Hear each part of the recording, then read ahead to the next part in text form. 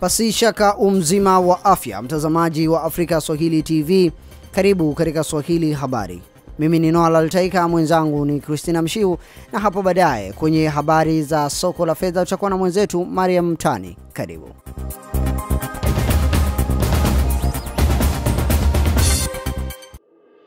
Makamu wa Rais wa Jamhuri ya Muungano wa Tanzania Mheshimiwa Samia Suluhu Hassan amewataka wananchi wa mkoa wa Kusini Unguja kutunza miradi na kuitumia kwa manufaa ya wote.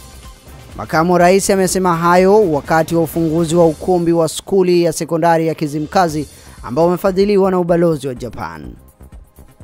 Mheshimiwa Samia aliwashukuru ubalozi wa Japan kwa kufadhili ujenzi wa uboreshaji wa mazingira ya elimu katika wilaya ya Kusini ambao umegharimu dola za Marekani laki moja na elfu kumi na mbili na mia nane na arobaini na tano ambazo ni sawa na takribani shilingi milioni 247.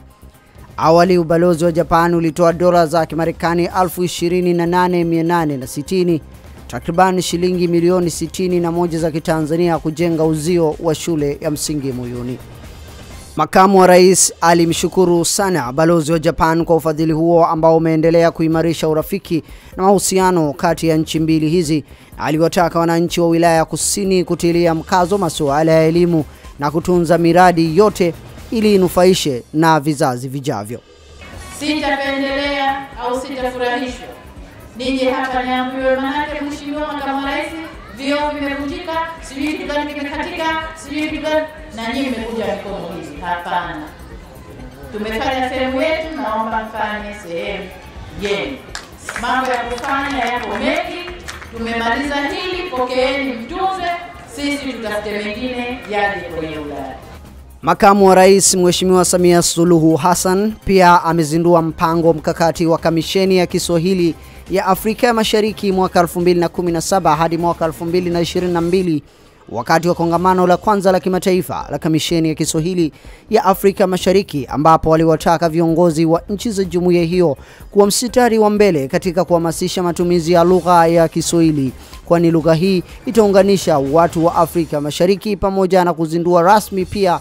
Makamu wa Rais alifungua ofisi za Kamisheni ya Kiswahili ya Afrika Mashariki mjini Unguja, Zanzibar. Ndugu zangu, sote tunafahamu kuwa Kiswahili kimekuwa kiunganishi na kimetumika katika utangamano wa kikanda tangu zamani, hata kabla ya ukoloni. Kipindi kile Kiswahili kilitumiwa na watu katika safari, katika biashara, katika huduma na kubadilishana mawazo. Kiswahili kilitumika hata kwenye posa.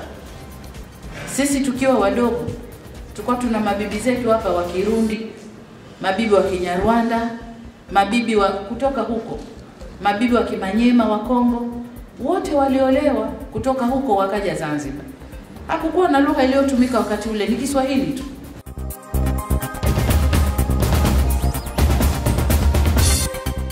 Wito umetolewa kwa wananchi wote nchini kuhusu umuhimu wa kutumia kadi za bima ya afya katika kupatiwa matibabu.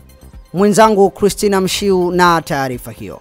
Hayo yameelezwa na Mama Ana Makinda, mwenyekiti wa bodi ya mfuko wa taifa wa bima ya afya ya jamii NHIF, alipotembelea hospitali ya Kairuki iliyopo jijini Dar es Salaam na kuzindua kitengo maalum cha kuchuja damu kwa wagonjwa wenye figo dialysis unit kitakachotoa huduma hizo hapa nchini. Nyuma yangu ni jengo maalum lililozinduliwa leo rasmi hapa Abat Kairuki, ambapo ni kitengo maalum kwa ajili ya kuchuja damu kwa wagonjwa wenye figo. Haya ni maendeleo ya huduma ya sekta ya afya nchini Tanzania. Kumekuwa na kuna aina nyingine tena ya ugonjwa wa figo inaitwa acute kidney injury. Hii ni figo ambayo ilikuwa ni nzima lakini mgonjwa amekuja ame, ame, ame, yuko chumba cha mahututi alafu nagundua kwamba figo figo inakataa ina kuchuja kuchuja damu, na hii mara inatokana na maradhi ya ya ya, ya, ya ghafla kama malaria kali sana au au magonjwa ya kuambukiza ambayo yanasababisha homa kali sana, au kwa kina mama ambao wamejifungua alafu wanapoteza damu nyingi sana e, mwilini. Naye mwenyekiti wa shirika la afya na elimu hospitalini hapo, Mama Kokushubira Kairuki, amesema kuwa wataendelea kuheshimu mfuko huo wa jamii wa bima ya afya, kwani tangu kuanzishwa kwake umesaidia watu wengi zaidi nchini wanaosumbuliwa na matatizo mbalimbali mbali kupatiwa matibabu. Mfuko huu umesaidia watu wengi. Pengine ulipokuwa unaanza huo mfuko hatukuwa tunaelewa sawa sawa, lakini tumesha kuona matunda kwa Watanzania wengi. Zamani kulikuwa wazee hawatibiwi hospitali e, wamama wale wako, lakini sasa hivi siku hizi unakuta hospitali zote kuna watu wazima, kuna watoto, kuna watu wa kila aina. Kwa hiyo tunaona matunda makubwa ambayo mfuko umefanya.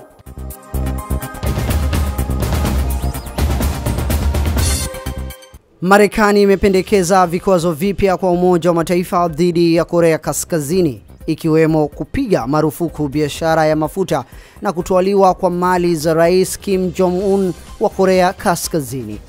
Azimio hilo limewasilishwa kwa wanachama wa Baraza la Ulinzi wa Umoja wa Mataifa baada ya jaribio la sita la nyuklia kufanywa na Korea Kaskazini.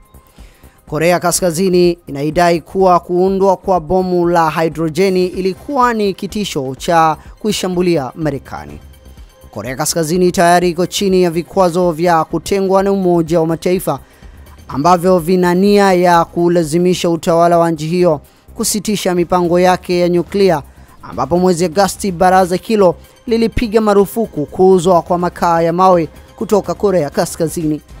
Pendekezo hilo la Umoja wa Mataifa linataka kuweka marufuku kabisa ya kuuzwa kwa bidhaa za mafuta kwenda Korea Kaskazini na kutwaliwa kwa mali za Rais Kim.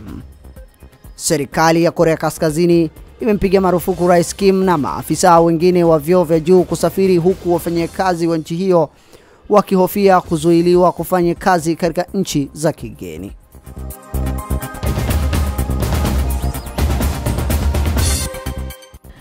Chama cha Viziwi Tanzania CHAVITA kimesema kuwa haki ya kupata habari kwa viziwi nchini haipo, hivyo kwao ibara ya 18 ya Katiba ya Jamhuri ya Muungano wa Tanzania wanahisi kuwa imepuuzwa hasa baada ya kutokuwepo mifumo ya kutoa taarifa rasmi kwa viziwi. CHAVITA imetoa tamko hilo kupitia mkutano wao na waandishi wa habari jijini Dar es Salaam uliolenga kuelekeza changamoto zao kwa mamlaka mbalimbali kama wanavyoelezea kupitia kwa mkalimani wao lugha ya alama Octavian Simba.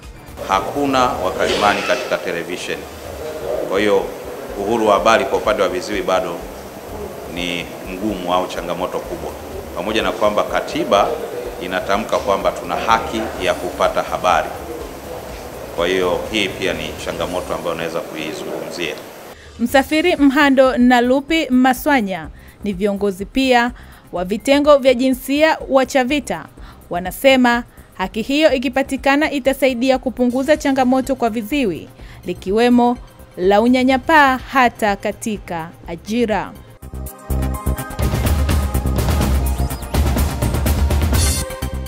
Takribani watu saba wamepoteza maisha baada ya kimbunga kikali kilichopewa jina la Irma kukikumba kisiwa cha Caribbean na kusababisha uharibifu katika eneo hilo huku jitihada za uokoaji zikigonga mwamba kutokana na ugumu wa kuyafikia maeneo mengine. Kisiwa kidogo cha barmbuda kinasemekana kukumbwa na uharibifu mkubwa zaidi hadi kutajwa kuwa hakiwezi kukalika, ambapo maafisa wamedai kuwa himaya ya Uingereza ya St Martin imeharibiwa kabisa. Kimbunga hicho chenye nguvu nyingi kuwahi kushuhudiwa kwa miongo kadhaa kilikuwa na upepo wa kasi ya kilomita 295 kwa saa chenye ukubwa wa tano kwa kipimo cha Richa. Pia kinatarajiwa kupita karibu na pwani ya Jamhuri ya Dominica na kaskazini mwa Puerto Rico. Waziri Mkuu Gaston Brown amesema kuwa watu wote elfu themanini wamenusurika huku asilimia 95 ya majengo yameharibiwa vibaya katika kisiwa cha Antigua na Barbuda nchini humo. Zaidi ya nusu ya wakazi wote milioni tatu wa Puerto Rico hawana umeme baada ya kimbunga hicho kutokea, hali iliyosababisha nishati hiyo kukatwa katika visiwa vyote, na kwa sasa makundi ya huduma ya dharura yanajaribu kuyafikia maeneo yaliyoathirika zaidi. Mtazamaji, usiende mbali, hivi punde ni habari za soko la fedha.